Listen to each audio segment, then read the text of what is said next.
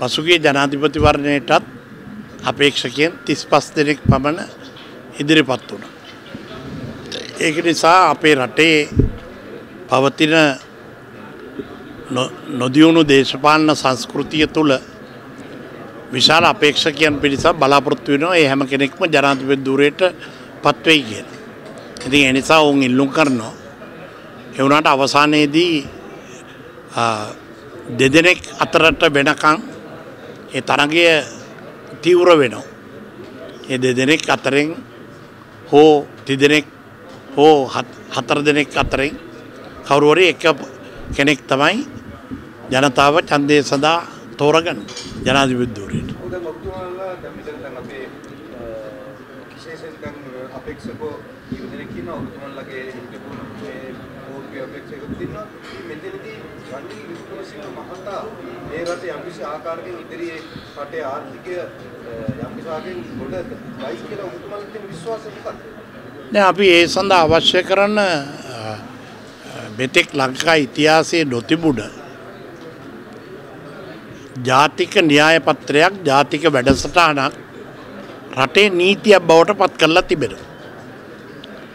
මීට පෙර ලංකාවේ සියලුම ආණ්ඩු විසින් මුදල් අච්චු ගහලා තියෙනවා. ඒක නිසා ජනතාවට දරාගත නොහැකි ජීවන වියදමේ පීඩනයක් මිල උද්දමනය ඇති වෙනවා. ඒ මිල ස්ථායීකරණය ඇති කිරීම සඳහා මුදල් අච්චු ගැසීම තහනම් කරලා තියෙනවා මහා බැංකු පනතේ. ඒ එක නීතියක්. දෙක මීට ඉස්සර ඉතිහාසේ රජයන් විසින් ගිනි පොලියට වෙළඳ පොල්ට ගිහිල්ලත් ණය අරන් තියෙනවා. දැන් එහෙම ණය ගන්න බෑ ණය පාලන පනතක් පාර්ලිමේන්තුව සම්මත කරලා තියෙනවා. ඕනේ ඕනේ විදියට අයවැය සකස් කරන්න බෑ. මොකද රාජ්‍ය මූල්‍ය කළමනාකරන පනතක් සම්මත කරලා තියෙනවා. ඒ අනුව පාර්ලිමේන්තුවේ විශේෂඥ ශ්‍රමිකයන්ගෙන් සමන්විත අයවැය කමිටුවක් තියෙනවා. තමුන්ට සිතගි පරිදි ආර්ථික ප්‍රතිපත්ති වෙනස් කරන්න බෑ ආර්ථික පරිවර්තන පනතක් හදලා තියෙනවා. මේවා කිරීමේදී රට ඇතුළේ හොරු අල්ලන්න හොරකම වංචාව නවත්තන්න දූෂණ විරෝධී පනතත් සම්මත කරලා තියෙනවා. මීට පෙර කිසිදු ජනාධිපති අපේක්ෂකේ එවැනි ජාතික වැඩසටහනක් නීතියක් බවට පත් කල්ලා ජනාධිපතිවරණයට ඉදිරිපත් වෙන්නේ නෑ. දැන් වර්තමාන ජනාධිපති රනිල් වික්‍රමසිංහ මහතාගේ කාලයේදී වැටුණ රට ගොඩ ගැනීම සඳහා අන්තර්ජාතිකව ඇතිකරගත්ත එකඟතාවයන්ට අනුව ඒ ඉදිරි අනාගත වැඩසටහන සංවර්ධන මාවත නීති බවට පත් කරලා තියෙනවා පාර්ලිමේන්තුව. ඉතින් ඒක නිසා විශ්වසනීය ලෙස නැවත වතාවක් රට කඩා නොවැටෙන්න නම් නැවත වතාවක් දෙදස් විසි දෙකේ වගේ අත්දැකින් ඇති නොවෙන්න නම් බලාපොරොත්තු සහගත දියුණුවක් රටේ ඇති කරන්න නම් ඒ හදාගත්ත වැඩපිළිවලට අනුව කටයුතු කරන්න ඕනේ ඒ නිසා තමයි අපි රනිල් වික්‍රමසිංහ ජනාධිපතිතුමාට සහාය දෙන්නේ රනිල් වික්‍රමසිංහ දිනවීම සඳහා නෙමේ ජාතික න්‍යායපත්‍රයක් ජාතික වැඩපිළිවෙලක් දිනවීම සඳහා තමයි අපි එතුමට සහයෝගය දෙන්න. මගේ පක්ෂයේ පොදුජන එක්සත් පෙරමුණු.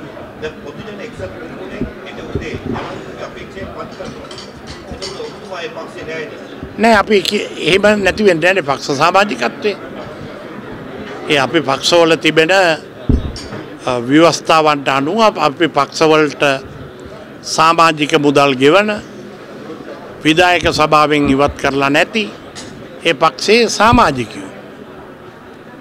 අපි ඉවත් කරනවා නං ඒ සඳහා විනය පරීක්ෂණයක් තබල ඉවත් කරන්නට ඕනේ. අපි මධ්‍යම කාරක සභාවේදී අපි වැරද්දක් කල්ලා තියෙනවා නම් විනය පරීක්ෂණයක් පවත්තන්න කියලා යෝ සම්මත කරපු යෝජනාවට අපි අත උස්සලා එකක වෙලා තියෙන.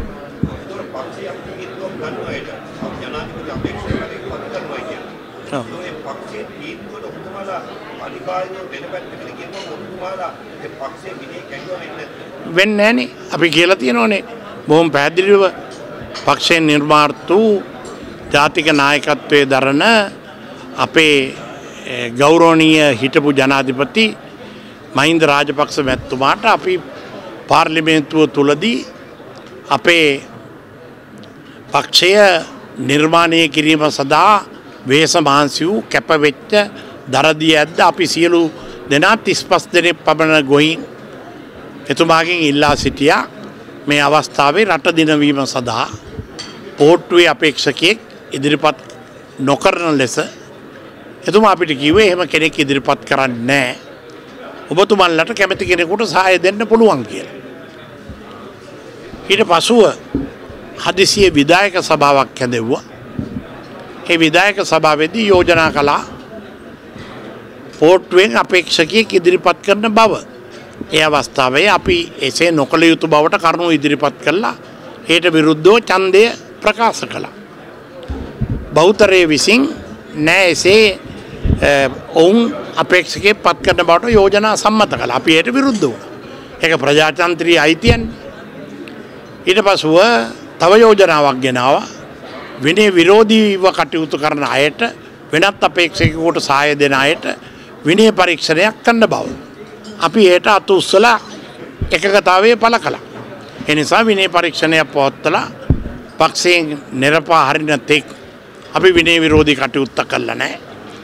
අපි රට පැත්තේ රට බේරා ගැනීමට හැකි පැත්තේ අපේ සාමාජිකයන් බේරගන්න පුළුවන් වෙන ආකාරයට රටේ ජනතාවගේ සිතුම් අපි සියල්ලට වඩා අපිට දේශපාලන පක්ෂ පාට ආගන් ජාති කුලවලට වඩා රට වටිනවා. රට බැරිවෙලාවත් වැරදි අත්තදා බැලීමක් කරොත් මේ රටේ කවුරු ආණ්ඩුව ගත්තත් ඒ පවතින්නේ සති දෙකක් නැත්තම් මාසයක කාලයක් පමණයි. මොකද වෙනත් ඉතිහාසයේ කවර මැතිවරණයකටත් වඩා තීරණාත්මක ගිවිසුන් රැසකට අස්සං කල්ල තමයි මේ මැතිවරණය පවත්වන්නේ අන්තර්ජාතික වශයෙන්. ජාත්‍යන්තර මූල්‍ය අරමුදල සමඟ ගිවිසුමක් තියෙනවා. විස්තීර්ණ ණය ගිවිසුම. ඊට අතිරේකව ණය ආපසු ගෙවීම පිළිබඳ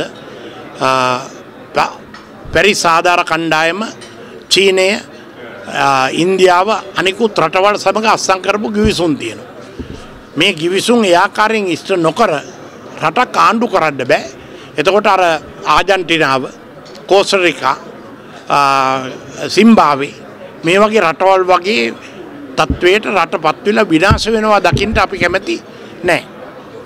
යම් මට්ටමකින් ඇමතුමනි ජනාධිපති රනිල් වික්‍රමසිංහ මහතා මේ ඉදිරි මැතිවරණයේදී යම් පරාජයකට පත් වුණොත් පොදු ජන එක්සත් පෙරමුණෙන් ඉවත් වෙලා ආපු ඔබතුමාලගේ ඉරණම කොයි වගේ වේද? නෑ අපිට එහෙම බලාපොරොත්තුවක් නෑ. එහෙම අපේ ඉරණම ගැන. අපිට අපිට අවශ්‍ය වෙන්නේ අපේ පුද්ගලික ඉරණමක් නෙමේ. රටේ හා ජාති ඉරණම. ජාති ඉරණම රනිල් වික්‍රමසිංහ ඇතුමා ඇවිල්ලා විසඳගත්තේ නැත්තම් ඉතින් ජාතියට ඇති වෙන ඛේදවතේ ජනක ඉරණමට අපි සියලු දෙනා ගොදුරු වෙනවනේ.